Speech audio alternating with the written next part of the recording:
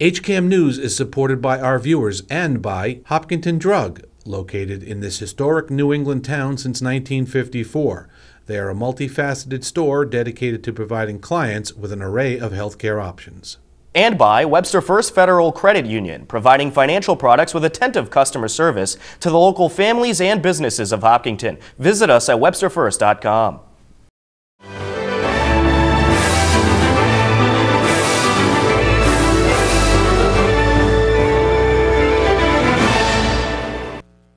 Welcome to HCAM News. Tom Nappy at the anchor desk to keep you up to date with everything you need to know about Hopkinton. On this edition of HCAM News, we have some pictures of the blizzard Juno, which pummeled the area with nearly three feet of snow. And Hopkinton's oldest resident was honored at the Hopkinton 300th anniversary opening ceremony. We have basketball highlights in Hillers Sports.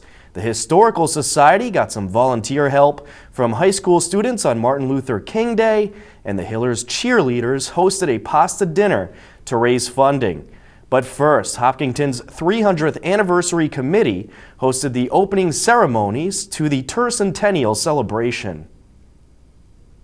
Many gathered for the opening ceremony to celebrate Hopkinton's 300th anniversary.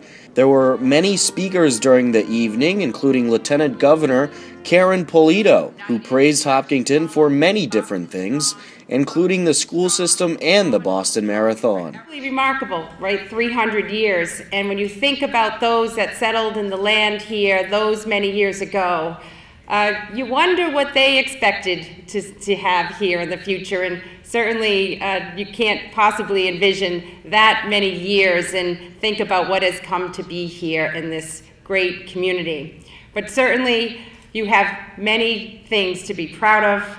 Just simple things that take a whole lot of thought and concentration are making sure that your schools are great. You have made the mark and we are very proud as officials here to celebrate the great learning that you provide to all of the students that come through the halls of these schools, and may you continue that tradition to give every student the best opportunity they have to succeed in life. When you think of the Boston Marathon and what a tradition that has become here in our Commonwealth, despite the tragic day that occurred, we are united, we are strong, Boston strong, Hopkinton strong, Commonwealth strong, and forever strong and resilient in the face of adversity that that day br did bring to all of us. But for you to be able to go forward as the beginning of that great marathon with so many families and individuals assemble to achieve a milestone in their own personal life and for a cause that they might be running for is really special. And that is a tradition that you only hold and embrace. So I expect the next 300 years will bring many more marathons to Hopkinton. Board of Selectmen Chair Todd Cestari talked a bit about Hopkinton's past. Our past includes governors and congressmen, entrepreneurs and industrialists, athletes, and war heroes. Some may be surprised to find out that Edward Hopkins, the man for which our town was named, was never actually living here. In fact, the land that later became Hopkinton was purchased using money he left for Harvard upon his death. In honor of his gift, the trustees later named the town after him, and our beloved parcel became known as Hopkinton. The economy of Hopkinton has been spurred in waves through the years via agriculture, industrialism, tourism, and industry. At one point, People came from around the world for the mineral springs and hotel to experience the healing powers of our natural mineral springs. Highlights of our industrial past include being the world's leading boot and shoe manufacturer in the middle of the 19th century. At the time, Hopkinton was home to 11 factories producing boots and shoes using technologies developed right here in Hopkinton. Hopkinton was also home to the nation's second cotton mill. Senator Karen Spilka praised Hopkinton for their progress in technology and for the environmental friendliness of the town. In 1915, Frances Safford wrote a brief history of Hopkinton for the town's bicentennial ce celebration. She ended with saying, Great changes have taken place in the last century. but even greater ones will be recorded by the pen that writes the history of Hopkinton's 300th anniversary. So here we are, a century later, at our town's 300th celebration, and there definitely have been a lot of changes.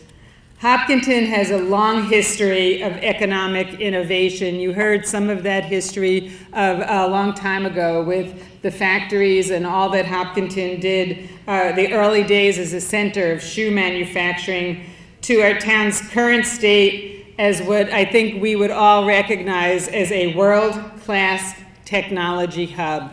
It's really been phenomenal growth here.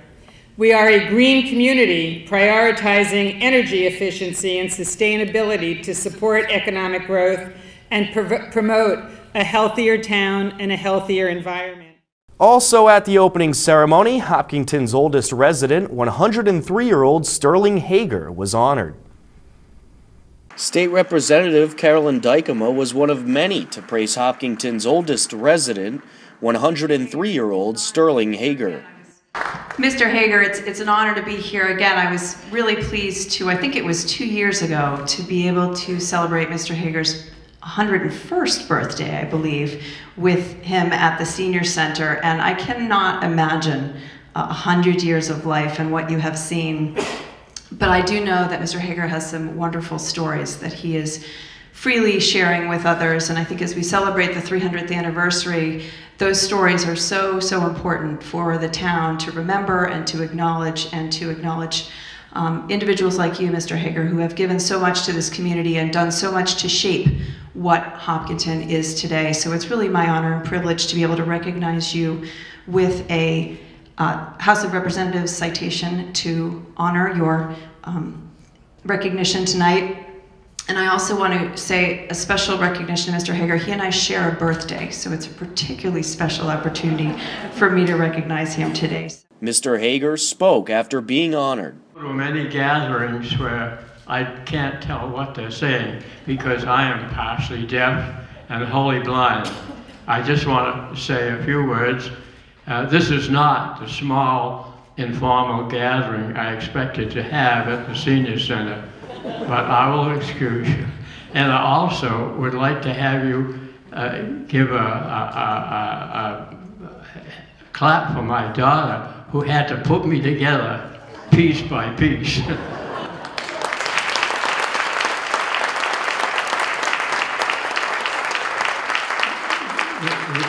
the only other thing that I would like to mention is that if you're like I am, you do get discouraged with the news that we get from all around the world of things that are not pleasant. But I, I, I want to tell you that because I have seen so many good things happen uh, in this uh, country, that if you live as long as I do, you will see some good things happen, I can assure you.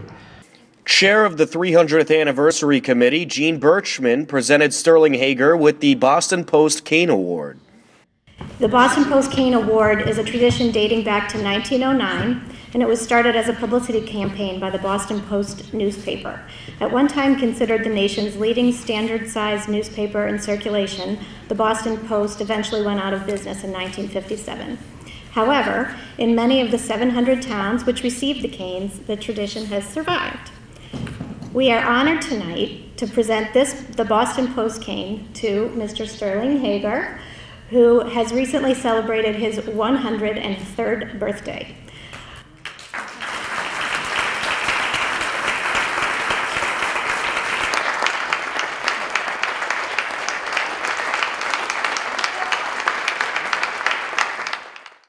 This past week, a huge blizzard hit the area.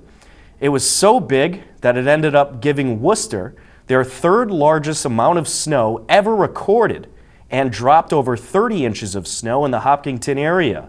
Here are some of the pictures from one of the top 10 biggest snowstorms ever recorded in Massachusetts. On Monday, January 26th, the blizzard they call Juno dropped over two feet of snow in the Hopkinton area. You were looking at various photos from around the area that were tweeted out or sent into HCAM News. Here's a cool shot at night. It's when the heart of the blizzard hit. You can just see the snow right in the lens. Here is a shot of a doorway. The snow just came barreling right in. I'm sure many people had this problem. Here you see a man shoveling over a foot of snow off his back porch. And this shot here, this is of a buried car in a driveway. You can barely tell the car is there. Quite unbelievable how much the snow piled up. Here's a tweeted out picture from the Mass State Police of a jackknife tractor trailer. This happened early on Monday. Fortunately, they cleared the scene pretty fast. Here's another shot of snow coming in a doorway. This is the Hopkinton Fire Station. Snow just packing right near the window. And here you are looking at another tweeted out picture by the fire department. This is the Holliston Police Station. Snow just burying the Holliston Police Station. Here you see the Hopkinton Fire Department, little snowblower action going on. And also, the National Guard was called to many areas, including Hopkinton. There's a National Guard truck right in front of the Hopkinton Police Station. Here you see the marathon flames still burning, even though nearly three feet of snow was dropped on the Hopkinton area. I don't know about you, but that storm was enough snow for me. A lot more coming up on HCAM News, including a look at Hillers Sports, the Hillers Cheerleaders Pasta Dinner, and the Hopkinton Student Council helping out at the Historical Society. HCAM News will be right back. Thanks to the HEF, HPTA, and 300th Anniversary Committee, we're bringing a program forward to honor alumni of Hopkinton High School. We're looking for nominations, and the criteria include graduated from the high school at least 10 years ago, demonstrated a high level of achievement, and made significant contributions to work, home, community, or volunteer efforts, and exhibited leadership, character, and service. Please visit our website to participating in nominating your HHS grad. Welcome back to HCAM News. Believe it or not, there are just a few weeks left in the winter sports season. The Hillers boys and girls basketball teams are both in the fight for a postseason spot, and recently both teams scored big wins over crosstown rival, the Ashland Clockers. The Hopkinton Hillers met up with crosstown rival the Ashland Clockers on the Hopkinton home floor. The Hillers started off well defensively. Jake Doherty knocks this three down to make it 13 to 5. Hillers, they led after the first quarter 13 to 8. Ashland got within 8 towards the end of the second quarter. It was 30 to 22 at the break. Matt Locke scored a team high 21 points. He hit this three in the third quarter to make it 36 to 26. 38 to 29 Hopkinton heading into the fourth. Ashland got within six, but the Hillers offense took over as they took advantage of Ashland foul trouble. Watch this by Hayden Pereira. He misses the free throw, dives between at least three Clocker defenders, and Coach Keene is very happy with the effort. And Coach Keene is all over Pereira for the effort. Yep, just a wonderful effort by Hayden Pereira. Hayden Pereira would make the next two free throws to help Hopkinton to the 58 to 47 win over Ashland. Matt Locke put up 21. Jake Doherty knocked down 17 as the Hillers boys cruise over Ashland 58 to 47. The Hillers girls also had a good day with Ashland. Sophomore Julia Cancestrari went into the fourth quarter with 10 points. She came out with a lot more. Gets it over to Canastrari. nice nice, touch. sweet. Holly, look what I found. Gets it to Canastrari. Another sweet touch off, despite the good defense of Megan. Canastrari with the three-pointer of her own. She answers. Canastrari with a nice given, nice fake. Oh, nice move. Nice move to the basket to 11 with this foul shot, and she does. Goalie for Ashland, and, and her dad and I are good friends, and he doesn't really uh, take take any any any. Um, Ferrari open underneath and uh, sinks it. Julia Cancestrari finishes with 24 points. She put up 14 in the fourth quarter in the girls' 53-38 victory over Ashland. Also on Tuesday, January 13th, Hopkinton Indoor Track lost to Norton. The girls lost 48 to 38. The boys lost 62 to 24. It was the first loss for the Hopkinton girls since 2006. The girls' indoor track team won 144 straight meets until the loss to Norton. On Tuesday, January 13th, Hopkinton boys swimming beat Medfield 98 to 83. They are 3 and 2 on the season. On Wednesday, January 14th, Ashland beat Hopkinton hockey 1 to nothing. Ashland goalie Owen Bearer had 40 saves. Friday, January 16th, Norton basketball beat Hopkinton 52 to 45. The Hillers now 5 and 6 on the season while the girls are 5 and 4 after they beat Norton 69 to 39. On Saturday, January 17th, the boys hockey team shut out Bellingham 5 to nothing and Nashoba Wrestling beat Hopkinton 42 to 29.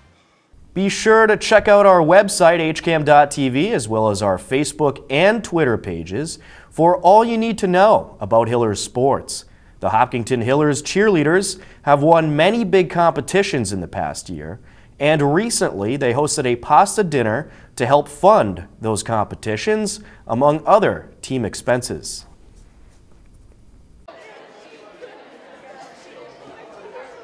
The Hopkinton Hillers cheerleaders hosted a pasta dinner at the Woodville Rod and Gun Club to help raise funding for their team. The funding will cover various competition trips. It's been another successful year for Hillers Cheer, and the team is very excited about what's to come. This is an all you can eat pasta dinner, um, which the proceeds go to the Hopkinton Cheerleading, uh, Friends of Hopkinton Cheerleading, to support all of the financial needs for the program, like uniforms, gymnastics, mats, um, and any travel trips we go on. We already received our bid to nationals. Right now, we're determining whether or not we are going to attend, um, but we already received our bid. So there are several other events planned for the next couple of months that um, you can learn more about by discussing it with any of the Hopkinton cheerleading families. I asked the cheer team about their favorite memory from winning nationals last year. I liked the personally I liked the airplane trips because they were very fun. We just had a party on the airplane, which is great. Personally, I liked winning because we came there to win. So I like stepping onto that mat because it was like no other feeling. Everyone was just cheering our names and stuff like that, and we just hit a perfect routine. It was awesome. I liked wearing our red jackets on the Hulk after we won. so how's the how the season go?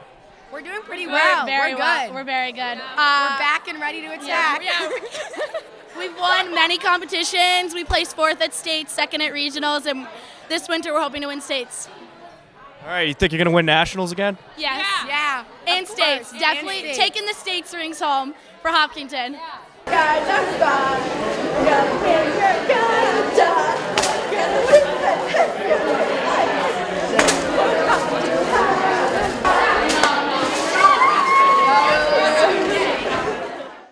On Martin Luther King Day, a new tradition was started a couple years ago by Margie Wiggin, chair of the Hopkinton Youth Commission.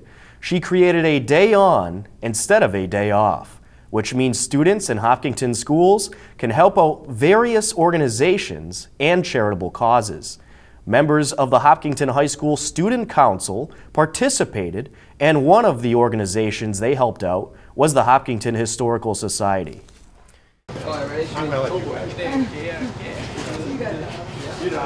Here we are at the Hopkinton Historical Society building. I believe this is our fourth year where we've had volunteers from the Student Council of Hopkinton High School help us at the building. And uh, we're doing a number of things today. Some of the things we're, we're throwing away, things that didn't sell in last year's yard sale. We are actually doing a lot of furniture moving in our museum uh, room because we're preparing to actually open the museum for public hours this year. So the students are helping us to kind of get things rearranged to be able to do that. Uh, the Historical Society, um, our business is to uh, maintain an archive of historical artifacts and uh, photographs and um, uh, documents that are relevant to the town's history, and some of our things go very far back. And so we have a very we have a lot of work to do, and we really appreciate the hard work that the high school volunteers have put into this because it allows us to really catch up on a lot of things that uh, we find hard to do throughout the year. Excellent. And when will you guys be officially open? Uh, uh, well, this is, uh, as you probably know, this is uh, Hopkinton's 300th anniversary year, so it's a really special year for us to try to do this, and it should be by late spring or early summer. You should see a sign out front that will have open hours. We'll probably be about six hours per week when the public can come by and we can show them what we have and give them a tour of the museum. For more about the Hopkinton Historical Society, go to hopkhistsoc.org. Coming up soon on HCAM, you can catch the full opening ceremony celebrating the 300th birthday of Hopkinton, as well as other events that are part of the tercentennial celebration. For more on what's coming up on the HCAM channels, our promotions coordinator Courtney has our HCAM Insider. Hello, everyone, and welcome to the latest edition of the HCAM Insider. The Board of Appeals was filmed as our meeting of the week, and it will air on Sunday, February 1st at 2 p.m. On Monday, February 2nd at 6:30 p.m., the boys basketball team takes on Medfield in this live HCAM TV game. At 8:30 p.m., learn about the views of different physicians on the problem of prescription drug abuse in Physician Focus. Is it patients with chronic pain or patients with pain that are getting prescribed opioids that are all becoming addicted? And not necessarily. There are lots of individuals out there who don't have pain who get access to these medications through the medicine cabinet or what have you. Um, who experiment with them and develop subsequent addictions. On Tuesday, February 3rd at 6:30 p.m., the Board of Selectmen meeting will air live on HCAM TV. On Wednesday, February 4th at 11 a.m., the 300th anniversary opening ceremony will air. At 5:30 p.m., poet Mary Lou Mansfield shares her words and the inspirations behind them in Senior View. Moonlight continues to caress my place without a sound, silence of quiet, peaceful night, delightfully void of disturbance. At 6:30 p.m., the Elementary School Building Committee will air live on HCAM TV. On HCAM Ed, it's the girls basketball team versus Bellingham. In All About Hopkinton on Thursday, February 5th at 5:30 p.m., Hope Heyman and Christy Willardson share how you can turn old fabrics into funds for the HPTA.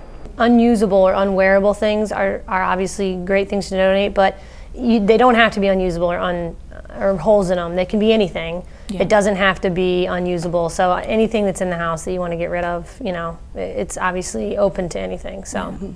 On Thursday, February 5th at 7 p.m., the Hop Seat returns with Police Chief Ed Lee. Call 508 625 1640 during the program to ask a question live on the air. Also at 7 p.m., the school committee meeting will air live on HCAM Ed. On Friday, February 6th at 5 p.m., Janie Dick shares her experiences from the civil rights movement in Wake Up and Smell the Poetry. I told my friends not to leave without me. I was going with James. And this is the way it was back then, in the mid 1960s, in the movement. It was black and white together. At 6:30 p.m., it's boys basketball versus Westwood, live on HCAM TV. On HCAM Ed, learn about the effects drug use can have on developing brains, in marijuana and the teen brain, and watch as the ice hockey team takes on Ashland. And remember to check out our new 2-minute series that will keep you up to date on events around town, in town government, and here at HCAM. Do you know someone who wants the HCAM Insider delivered to them every week? If so, have them send me an email at courtney at hcam.tv. Also, please pass it along to a friend and help us grow. As always, thanks for watching HCAM. Now back to you, Tom. Thank you, Courtney. That will wrap up this edition of HCAM News. Be sure to check our website, hcam.tv, or find us on Facebook to stay up to date with everything Hopkinton, including upcoming local events. If you have a Hopkinton related video, photo, or story idea, I want to hear from you. Email me at news at hcam.tv. And with your help, we'll cover even more of our community. For everyone here at HCAM, I'm Tom Nappy. We leave you now with the current community listings and upcoming government meetings. Take care and enjoy the snow.